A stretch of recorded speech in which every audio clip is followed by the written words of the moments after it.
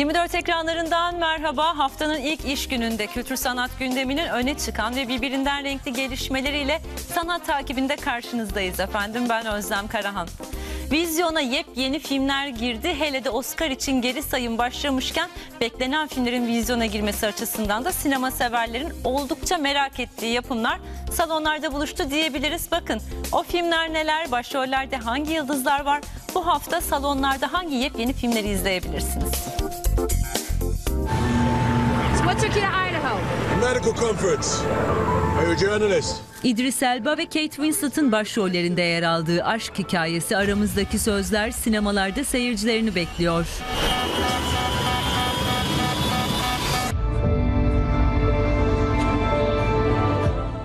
Abu Assad'ın yönettiği film özel bir uçakta yolculuk eden iki yabancının yaşanan uçak kazası sonrası karlarla kaplı, ulaşımın olmadığı bir dağda verdikleri hayatta kalma mücadelesini konu ediniyor.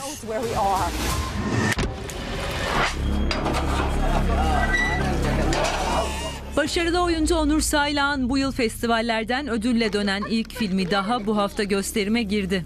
Öğreteceğim sana. Hepsini öğreteceğim hiç merak etme. Bu çocuk yemek getirecek yiyeceksin. Su getirecek içeceksin. Yeraltı edebiyatının sevilen yazarı Hakan Günday'ın aynı adlı romanından sinemaya uyarlanan film, kendini bir anda babasının insan kaçakçılığı suç zincirinde bulan Gazan'ın hikayesini anlatıyor. This is a devastating security breach that was leaked out of the Pentagon. The most highly classified documents of the war. Yönetmenliğini Steven Spielberg'ün üstlendiği Oscar'ın muhtemel adayları arasında gösterilen The Post sinemalarda seyirci karşısında. The way they lied, those days have to be over. Let's do our jobs. Başrollerinde usta oyuncular Meryl Streep ve Tom Hanks'in boy gösterdiği film, Amerikan halkının Vietnam Savaşı'na bakış açısını önemli ölçüde etkileyen Pentagon belgelerinin ortaya çıkarılma sürecini ele alıyor.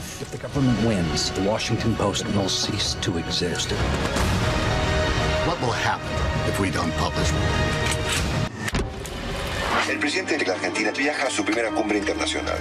Yönetmenliğini Santiago Mitre'nin üstlendiği, başrolünde usta oyuncu Ricardo Darí'nin yer aldığı zirve, başrolünde Liam Neeson'ın boy gösterdiği aksiyon yüklü yolcu ve korku sineması tutkunlarının uzun zamandır merakla bekledikleri Ruhlar Bölgesi Son Anahtar bu hafta vizyona giren diğer filmler.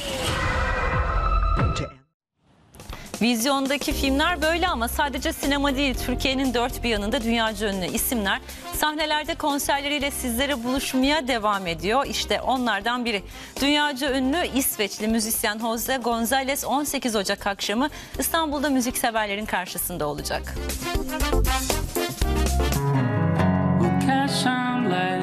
Ön plana çıkaran hüzünlü melodileri beğeni topluyor, şarkılarıyla dünyayı peşinden sürüklüyor.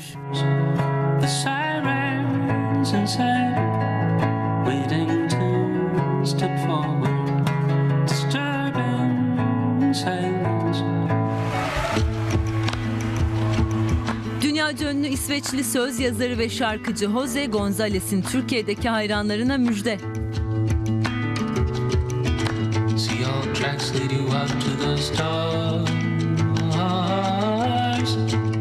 Başarılı müzisyen hayranlarının karşısında şarkılarını canlı söylemek üzere Türkiye'ye gelmeye hazırlanıyor.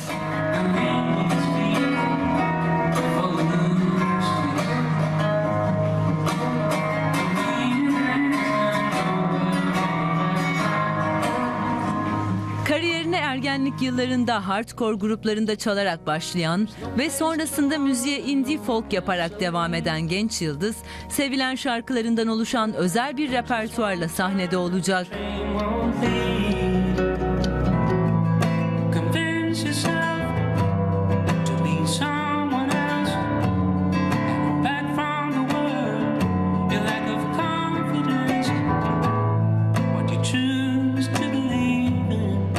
Jose Gonzalez'in merakla beklenen İstanbul konserinin tarihi 18 Ocak, adresi ise Salon İKSV sahnesi.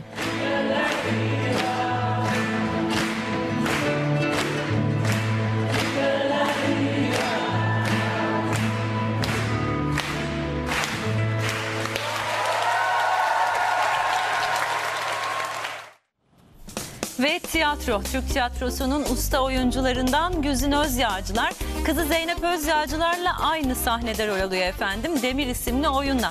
Oyunda da ikili anne kızı canlandırıyorlar ama biraz dramatik, biraz acı, biraz da isyan yüklü bir hikayeyle.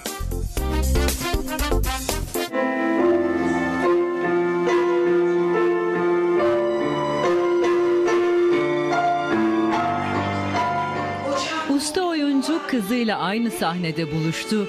Hüzün dolu bir hikayeyle tiyatro severlerin karşısına çıkmaya başladı. Sen de benim kanımdansın. Biz ikimiz de kimsenin kapısında paspas bulamayız.